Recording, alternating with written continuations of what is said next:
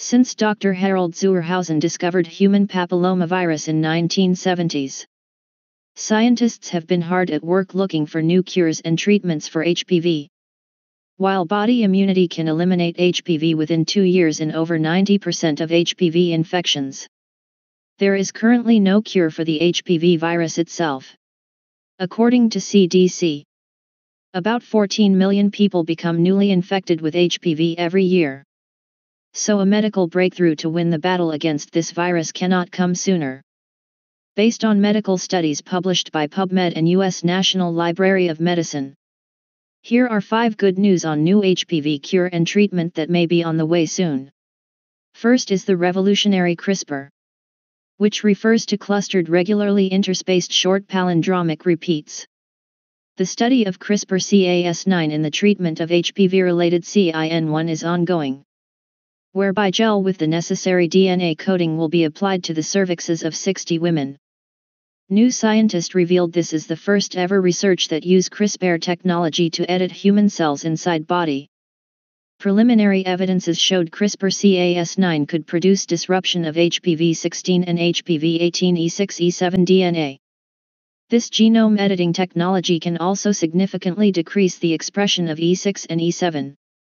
Induce cell apoptosis and inhibit cell lines growth. The field of gene editing is undergoing unprecedented growth. The ability to edit genes with high fidelity is promising for the development of new treatments for various diseases. CRISPR shows great potential here. This technology is extensively studied. With over 10,000 research published in the PubMed database. Second is VGX 3100.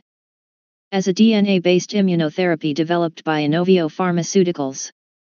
VGX 3100 is being investigated to treat HPV-16 and HPV-18 infection, including precancerous lesions of cervix and cervical cancer. This therapeutic DNA vaccine works by utilizing the patient's own body immune system to fight HPV. It stimulates a specific immune response to clear infections and precancerous cells caused by HPV 16 and 18. VGX 3100 is delivered through injection in a technique called electroporation. In phase 1 study of VGX 3100 and electroporation for CIN, 14 of the 18 women showed production of specific immune cells against HPV 16 and 18. In Phase 2b study on 167 adult women with cervical HSIL, 49.5% of vaccinated women demonstrated regression of the virus-caused lesions. With VGX 3100 shows efficacy against cervical intraepithelial neoplasia associated with HPV 16 and 18. This therapeutic vaccine could present a non-surgical therapeutic option for CIN2 or 3. Phase 3 study is evaluating VGX 3100 for treatment of cervical high-grade squamous intraepithelial lesion. Third is AHCC or active hexose correlated compound. In research by University of Texas Health Science Center.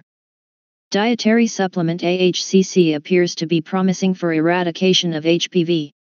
In the preclinical study, 10 women with persistent HPV infection received 3 grams daily of AHCC on an empty stomach for up to 6 months. 5 out of the 10 participants achieved negative result for HPV infection within weeks to months of taking AHCC.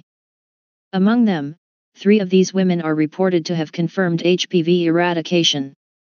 While more clinical study is in progress, Many user testimonials show AHCC can really get rid of HPV as confirmed by pap smear and HPV test results.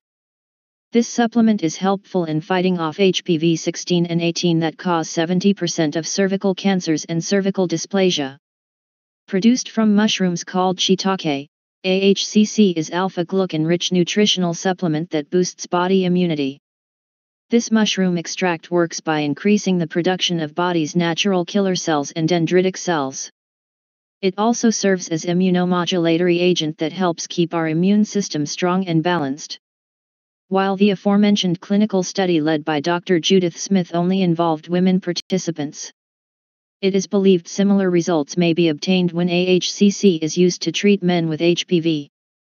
This is due to the similarities in men and women's immune systems and the same HPV strain may affect both genders. For examples, high-risk HPV virus type 16 can cause throat cancer and anal cancer for both male and female. While genital warts are sexually transmitted infections when an individual is exposed to certain low-risk HPV. With low-risk HPV type 6 and type 11 are identified as the major causes of genital warts. As Dr. Smith revealed to Fox News, some men who used AHCC noticed their genital warts were cured without recurrence. Shiitake mushrooms have been known for centuries for their healing properties and health benefits in Asian countries. In Japan, AHCC is used in over 700 clinics and hospitals mainly to fight against most tumors in cancer treatment. As reported by the World Journal of Clinical Oncology, AHCC can increase production of tumor necrosis factor alpha. It is also clinically proven to reduce the chemotherapy side effects such as nausea and hair loss. With over 20 human studies and more than 100 preclinical studies, this natural mushroom extract has been successfully used to treat a wide range of health conditions. Fourth is pembrolizumab, which belongs to drug family called immune checkpoint inhibitor. Pembrolizumab drug Keytruda is approved by FDA for treatment of head and neck cancer. Based on report published in the Therapeutic Advances in Medical Oncology Journal. There are preliminary evidences that show pembrolizumab can help advanced cervical cancer treatment. Clinical research is evaluating the combination of pembrolizumab and GX188E vaccination to treat cervical cancer. Pembrolizumab also demonstrated encouraging anti-tumor activity on patients with advanced anal carcinoma. This is good news as approximately 84% of anal carcinoma is associated with high-risk HPV and primarily HPV 16. With the cases of head cancer and neck cancer caused by HPV is an increasing trend. Scientists also look into development of new surgical techniques to assess disease prognosis. U.S. National Cancer Institute revealed about 70% of oropharyngeal cancers are caused by HPV. Oropharyngeal cancers are cancers of the middle part of the throat, including the soft palate, the base of the tongue and the tonsils. According to surgeon Eric Genden, the challenge has always been the access to tumors in the back of the throat. Robotics can allow medical professionals to work through the mouth to access the tumor. The new robotic technology targets to go places in patients with throat or head tumors.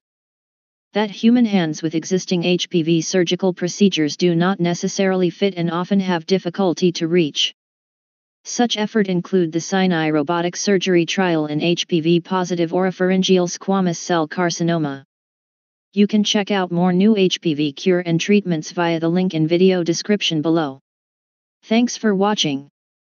Please like this video, leave a comment, subscribe to this YouTube channel, and share this out.